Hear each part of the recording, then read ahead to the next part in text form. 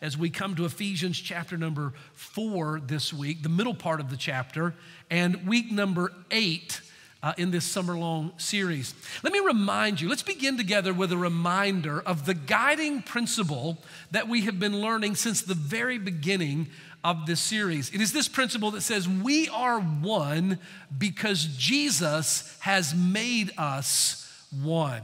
Would you say that out loud with me? Let's affirm it together. We are one because Jesus has made us one. It's so important to me that you get this. We are one, we are unified not simply by strategy or by design or by ministerial priority or by emphasis. We are one by divine decree that Jesus has joined us together and made us one. And in the beginning of this series, as we were talking about unity or wholeness or completeness, and by the way, when the Bible uses the word unity, that's what it means. Something that is complete or joined together, something that is whole. It's not fractured, it's not disjointed, it's not going apart, it's whole. When we began talking about this unity that God has called us to and created us for, we noticed the fact that this unity is, in fact, the very nature of God Himself. God is one, He is unified, He is whole and complete. And we recognize this in light of the fact that we serve a triune God, right? We believe in the Trinity, that God exists in three persons God the Father, God the Son, and God the Spirit. And yet there is no division among them, there is no separation or fragmentation. This one God is a triune God, but he exists in perfect wholeness, in perfect completeness, and in perfect unity. And we also talked about the fact that when God, this perfectly unified and cohesive and one God, when He made the heavens and the earth, He created in six days a creation that was perfectly unified. Remember, we talked about how that in creation, in the original creation, all things work together in perfect unity, perfect rhythm or syncopation.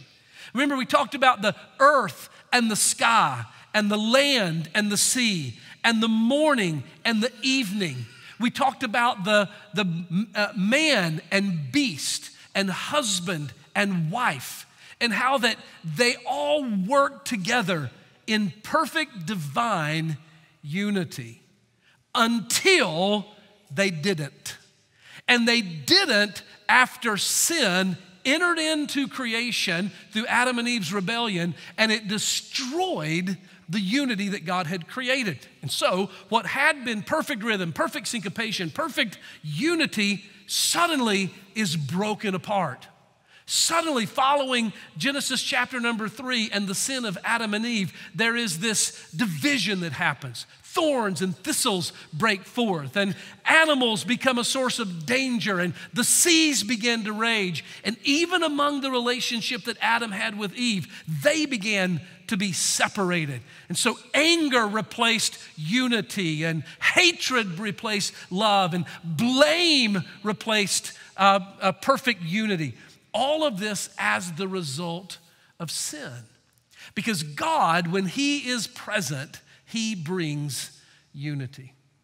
Now, by the way, this is uh, the fact that makes it true that everything that is moving toward God is moving toward unity. And everything that is moving away from God is moving toward chaos. This is always true.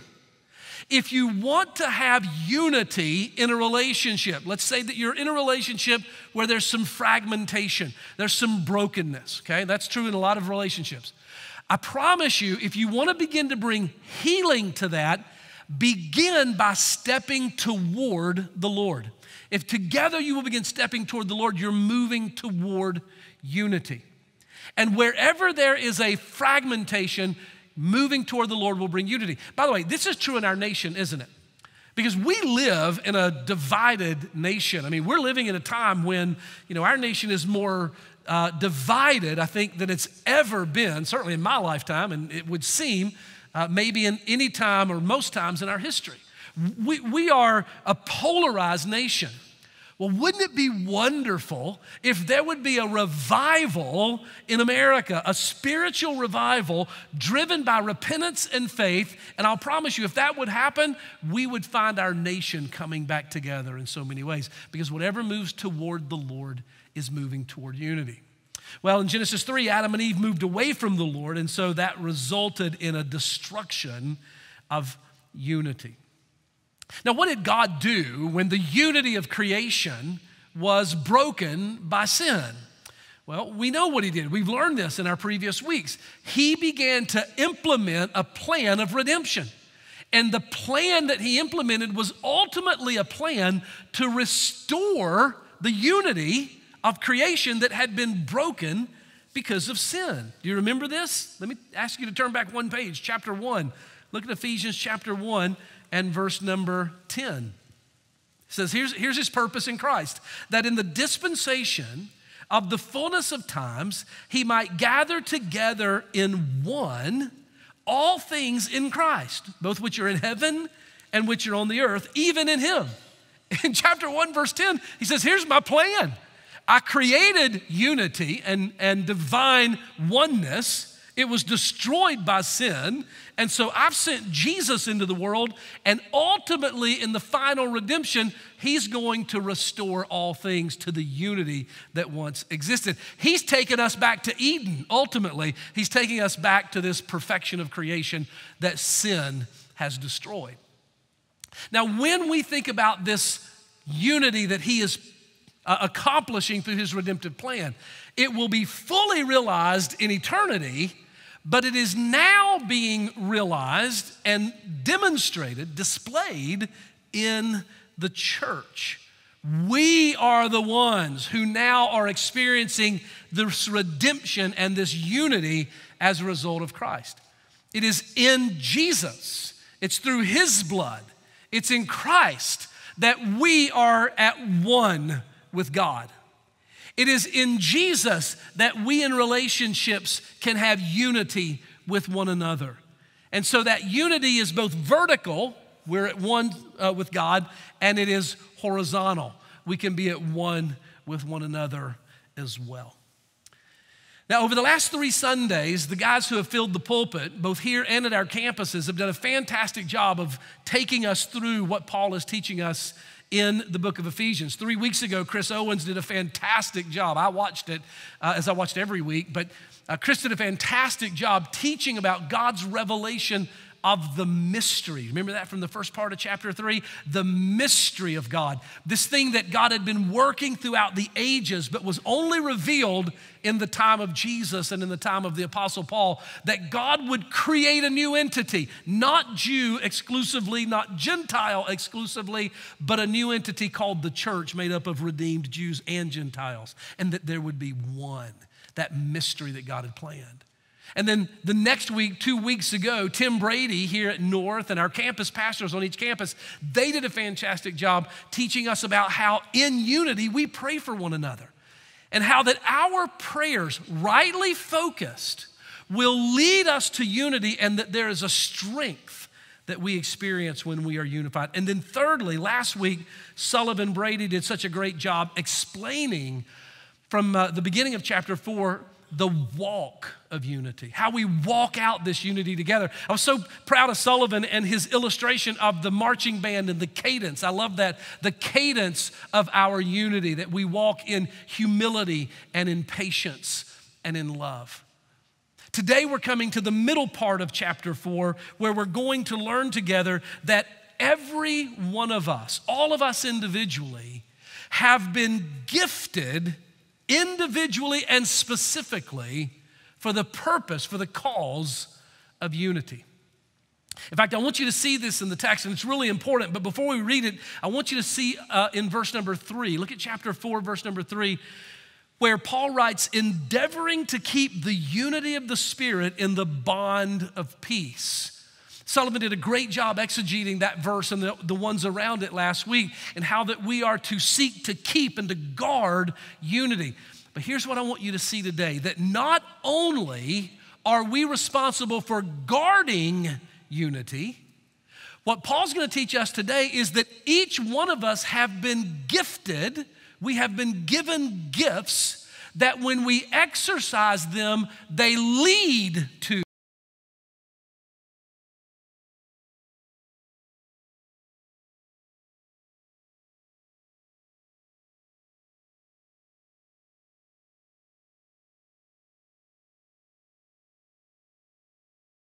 About it and that is that we are to help to create it in the Spirit as we exercise the gifts that He has given us. This is the message of Ephesians chapter 4 that we're going to see beginning in verse number 7. So I want you to follow along as I read, and then we'll talk about these things. Verse number 7 of Ephesians 4 says this But unto every one of us is given grace according to the measure of the gift of Christ.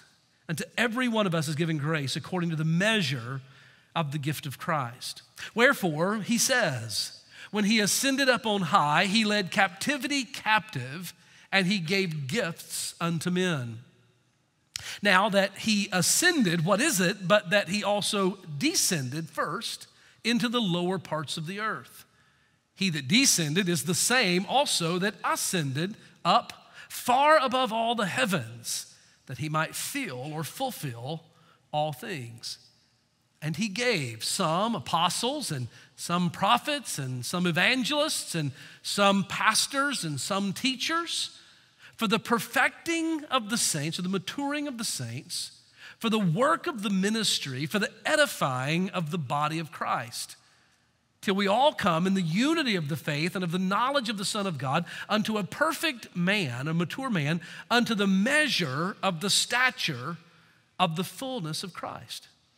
That we, henceforth, going forward, we should no more be like children, tossed to and fro and carried about with every wind of doctrine by the sleight of men and their cunning craftiness, whereby they lie in wait to deceive, but rather, speaking the truth in love, we may grow up into Him in all things, which is the head, even Christ. And from whom, or from Christ, the whole body, fitly joined together and compacted by that which every joint supplies, according to the effectual working in the measure of every part, it makes increase of the body unto the edifying of itself in love. And all God's people said, Amen. I want you to think with me about this passage today by writing down as we get started just this simple thing that I've already mentioned. It is that we are all gifted with responsibility. We are gifted with responsibility. Now, that's not to say that responsibility is the gift. We have been given gifts, spiritual gifts, and along with those gifts comes the responsibility that we would um, exercise those gifts that we have been given. It is a fundamental fact of the Christian faith, of the kingdom of God, that every single born again believer, every Christian, in whom the Spirit of God dwells. And by the way, that's every Christian. If the Spirit of God indwells you, you are a Christian. And if He doesn't, you are not. So, in every single Christian, the Holy Spirit indwells, and He has given to us spiritual gifts.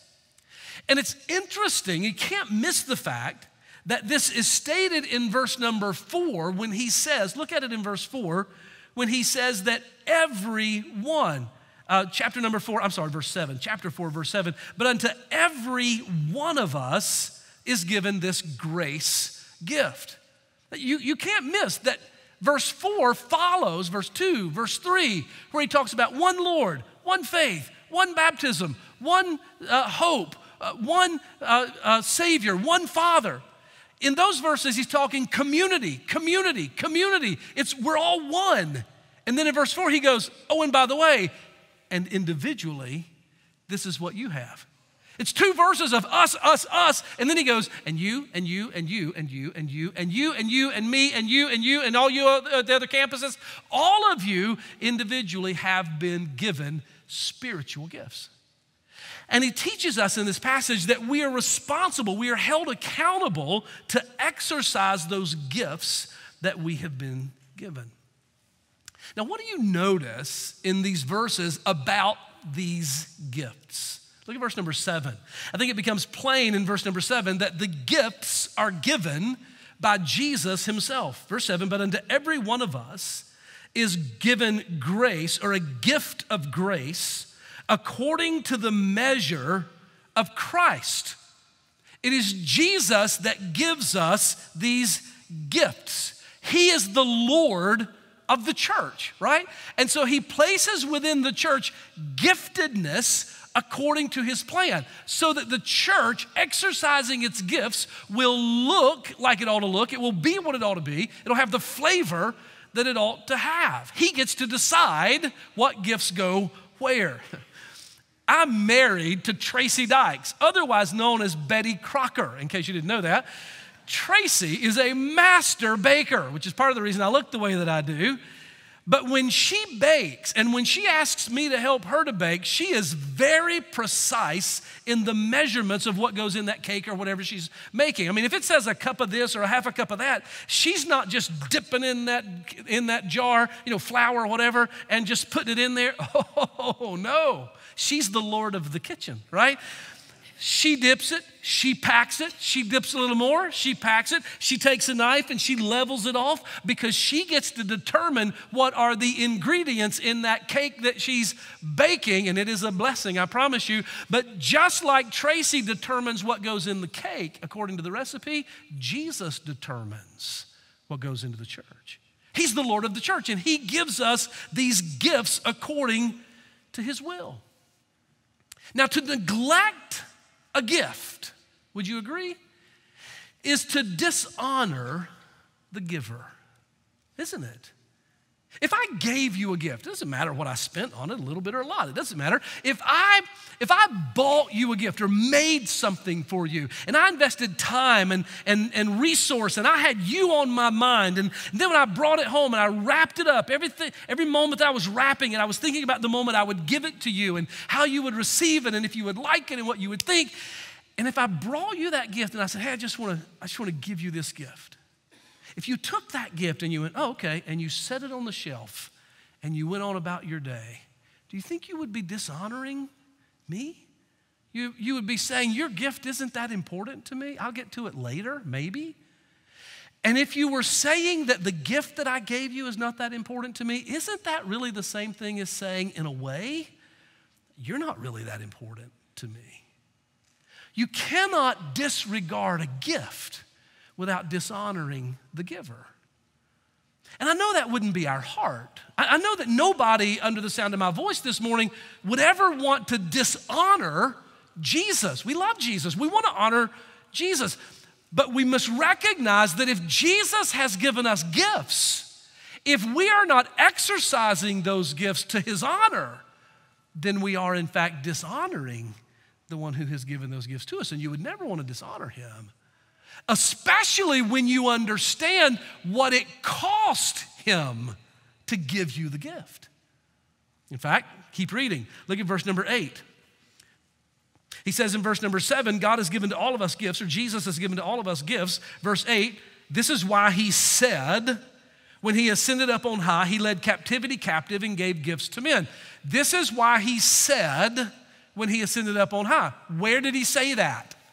Psalm 68 and verse 18. This is a quote from Psalm 68 18, which is a messianic psalm whereby Jesus is speaking about his ascension and his giving of these spiritual gifts.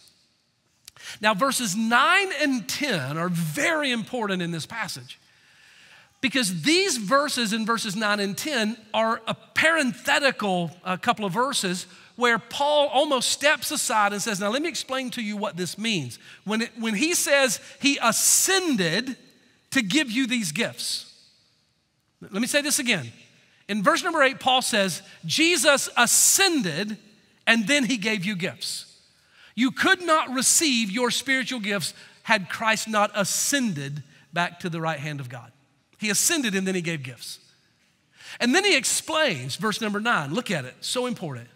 Now, what is it when we say he ascended, but that we are affirming that he also, first of all, descended into the lower parts of the earth?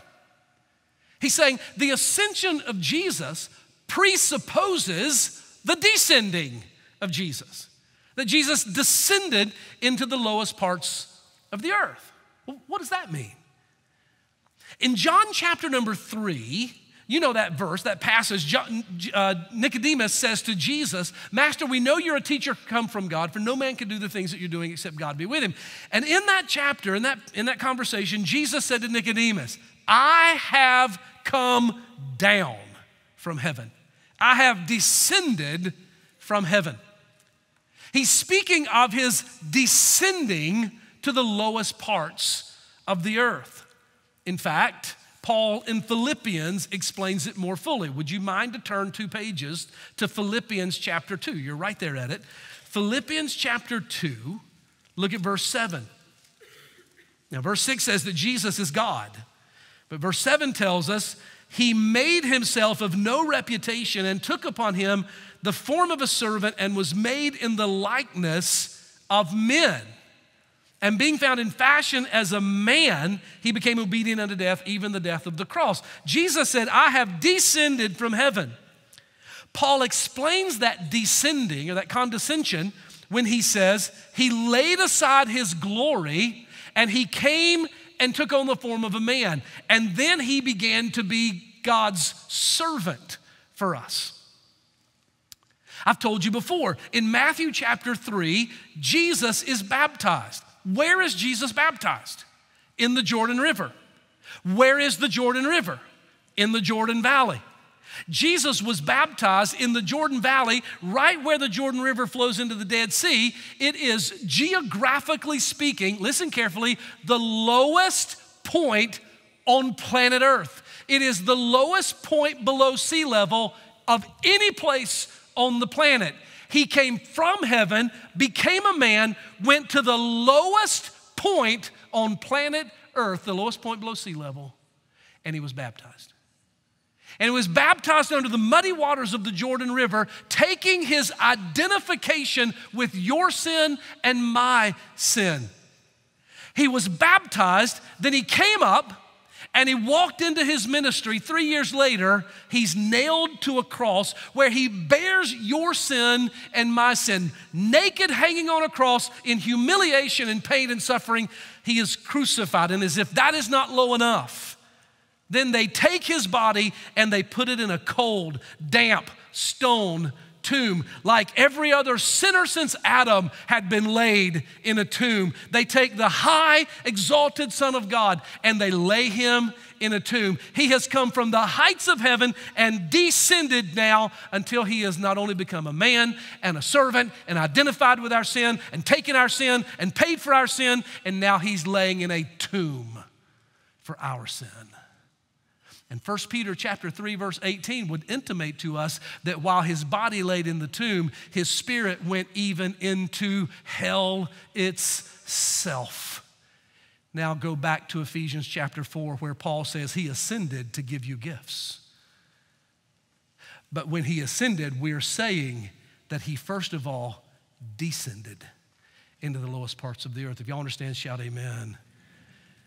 You would never want to dishonor the giver of gifts when you realize that the gifts that he has given you have come to you because of his condescending, all that he suffered and endured, and then his ascending back to the right hand of God. But look at verse number seven again. It says in verse number seven of Ephesians chapter four that he took captivity captive. What does that mean? He took captivity captive. It means that when he rose from the dead, he took that one final enemy of the human family death that had held the human family captive since Adam. In the day that you eat thereof, God said in Genesis 3, You shall surely die, or Genesis 2.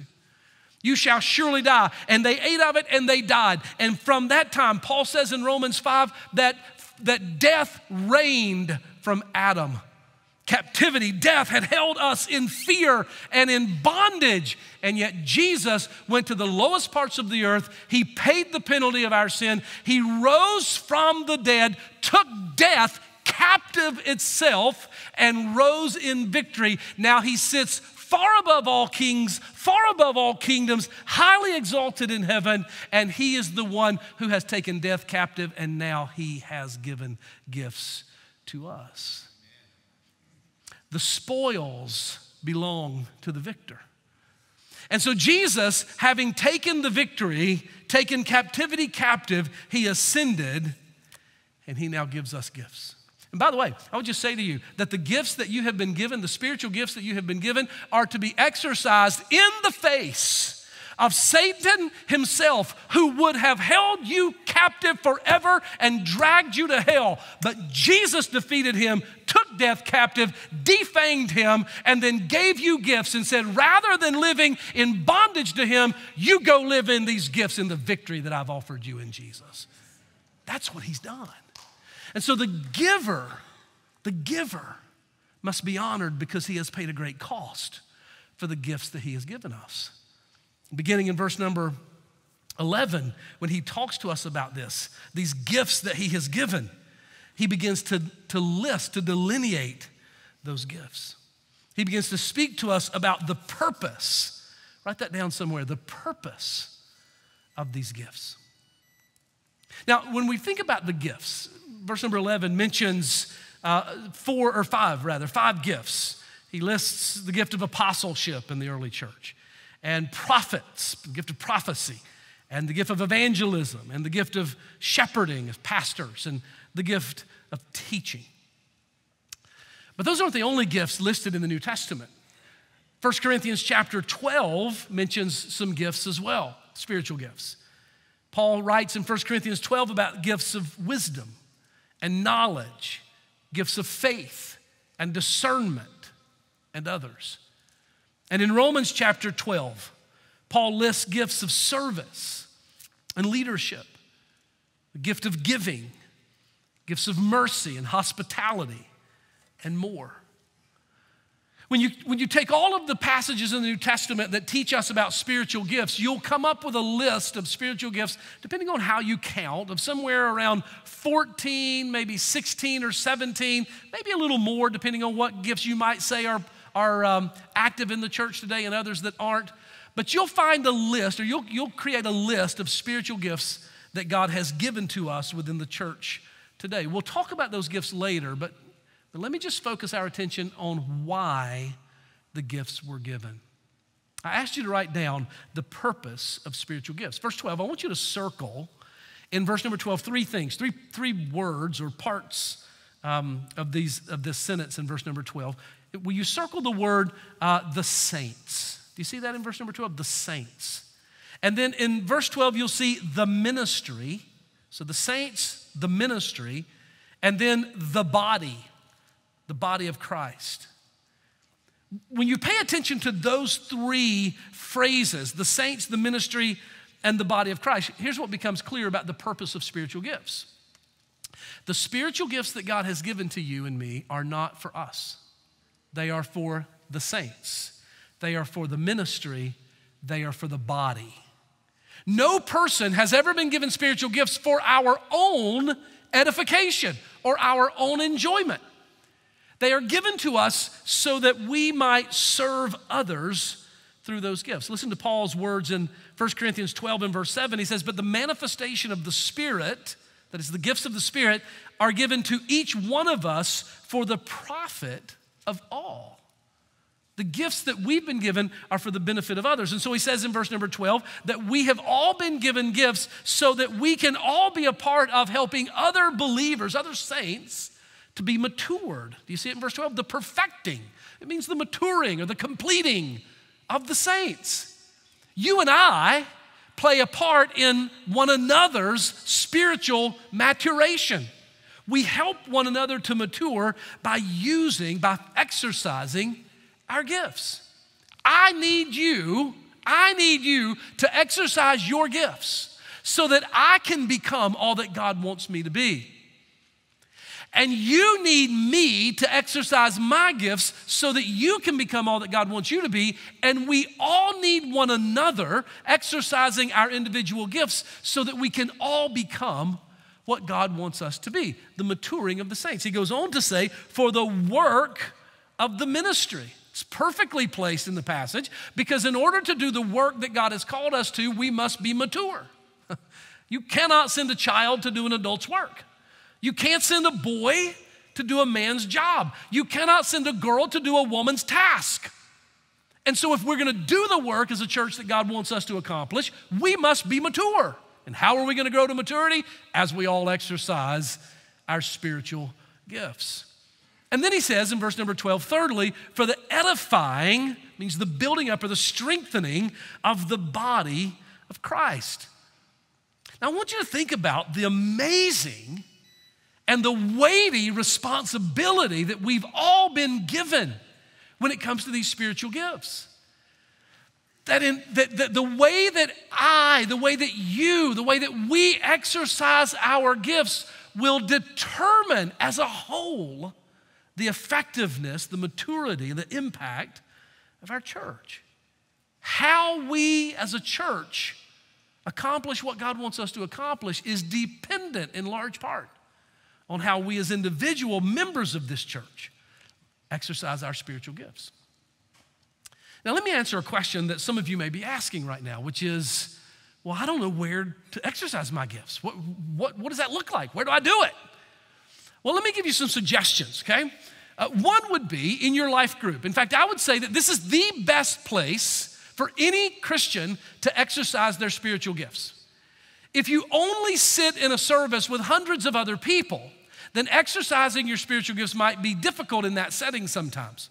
But if you are in a gathering of eight or 10 or 12 or 20 that you do life with and that you love and they love you, it's in that kind of fellowship that each one of you can exercise your spiritual gifts. And so, if you're not in a life group, you should be because that's the place where you can help others grow to maturity primarily. You can do it on serve teams as well. Many people here serve, hundreds of people here serve every week, and they're exercising spiritual gifts and doing that. You can do it on a serve team. You can do it with a community partner that we can connect you with. You can do it on a prayer team. We can help you find a place, but you must step in in order to exercise those gifts that God has given you. And in fact, this is, this is the point at which I would just challenge all of you um, going forward. Because one of the, and you've heard me pound the pulpit about this before, but you know, one of the things that I love about technology is that when we are homebound, or when we're sick or when we're out of town, we have the opportunity to still be a part of worship by tuning in online. Tracy and I were going the last three Sundays. We worshiped with you every single one of those Sundays because of the online live streaming. Praise God for it. I was very grateful for that. And if you're sick or you're shut in, then that's a wonderful tool.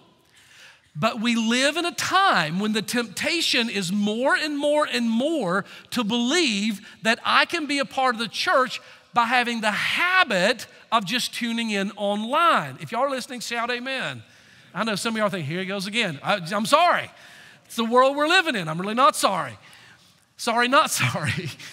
But the way the, the world we're leaning in, living in is we lean toward all my content comes digitally. I'm just gonna kind of sit home and get, get it that way. I, I, just have to tell you, I love you enough to tell you, if your habit, and I'm not talking about sick, I'm not talking about traveling, I'm not talking about shut in, but if your habit is to become, if it ever becomes, I'm talking to you in front of me, if your habit ever becomes, I'm just gonna watch at home online, that's my habit, rather than being a part, it is the 21st uh, century version of selfish Christianity because it says it's all about what I can just sit and receive at no cost to me, not even brushing my teeth.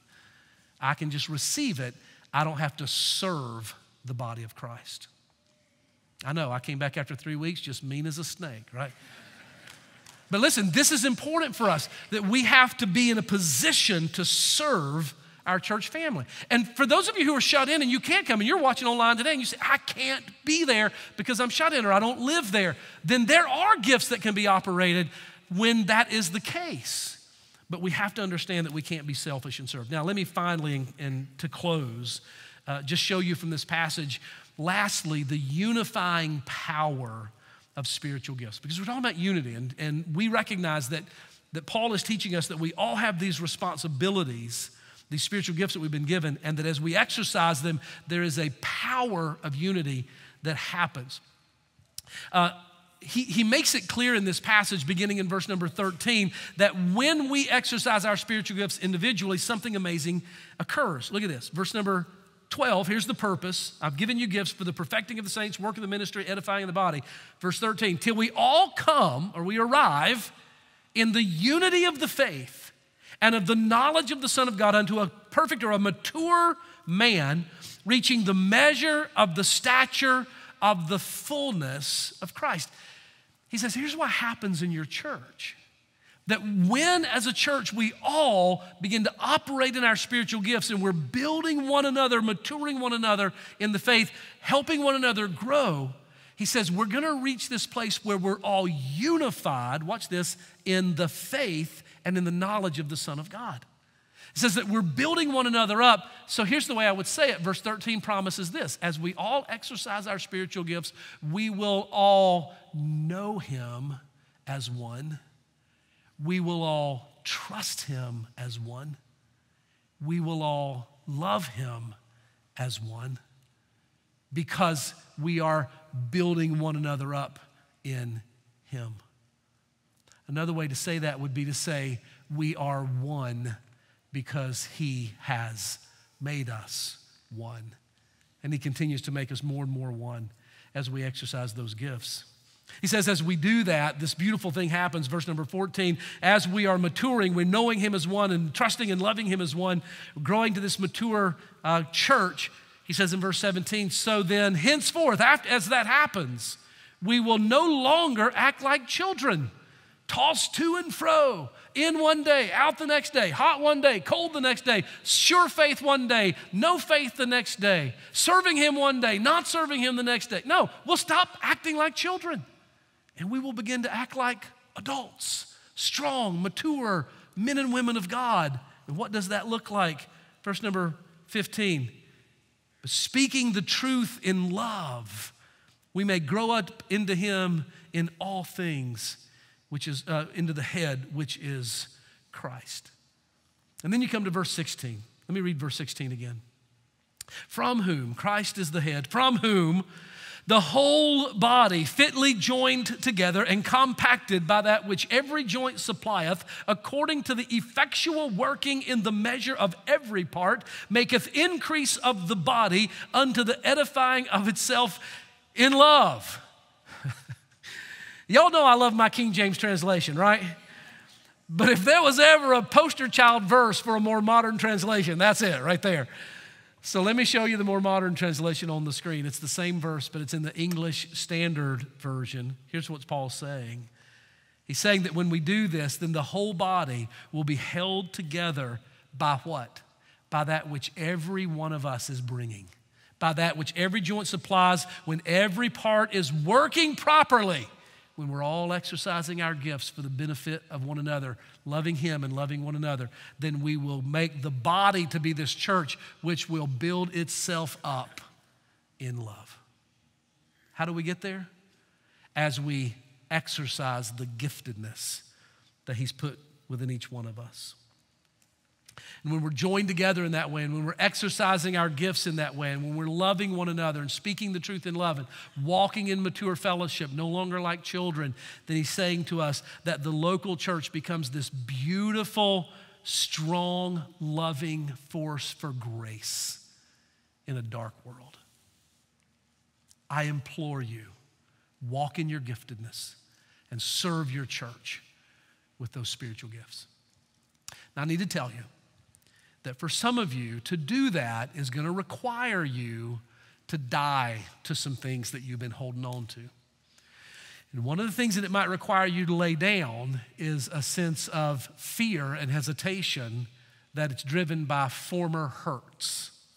Because in order to live like this, you're going to have to say, I trust Jesus and I'm going to serve you. I'm just going to love him and I'm going to love you. I'm just going to live my life and exercise my gifts for the benefit of others. And some of you are thinking, you know what? I've tried that before and I, got hurt. And I, I was willing to serve and I got stepped on or, or I was disappointed or whatever. And you're just going to have to get over that and say, I'm going to trust God. I'm going to love Him and I'm going to serve others. And so, my question to you is Are you willing to do that?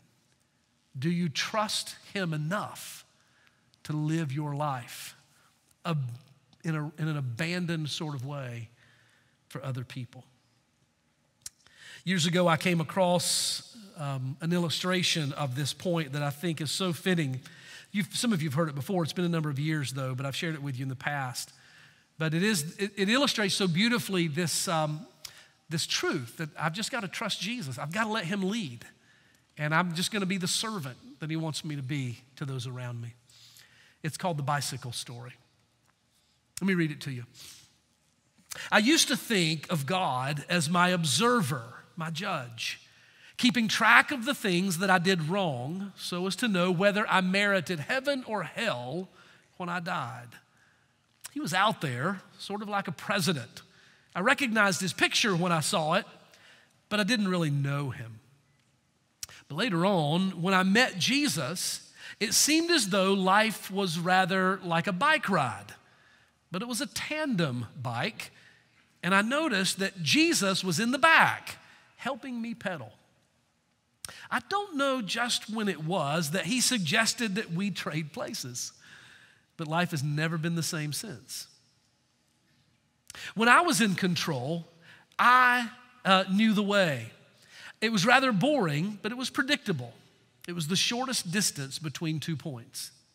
But when he took control, he knew delightful long cuts up mountains and through rocky places at breakneck speeds. It was all I could do to hang on. And even though it looked like madness, he would say, just pedal. I was worried and I asked, Where are you taking me?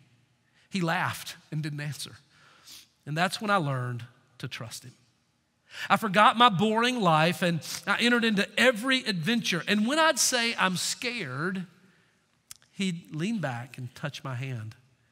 He took me to people with gifts that I needed gifts of healing and acceptance and joy. And they gave me their gifts to take on my journey. And he'd say to me, Give your gifts away as well. They're too heavy. And so I did. I gave gifts to people that we met. And I found that in giving, I received and still our burden was light. I didn't trust him at first to be in control of my life. I thought he'd wreck it. But he knows bike secrets.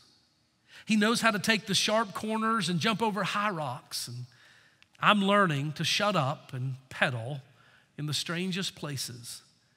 And I'm beginning to enjoy the view and the cool breeze on my face with my delightful companion, my Lord Jesus. And when I'm sure I just can't do it anymore, he smiles and says, just pedal.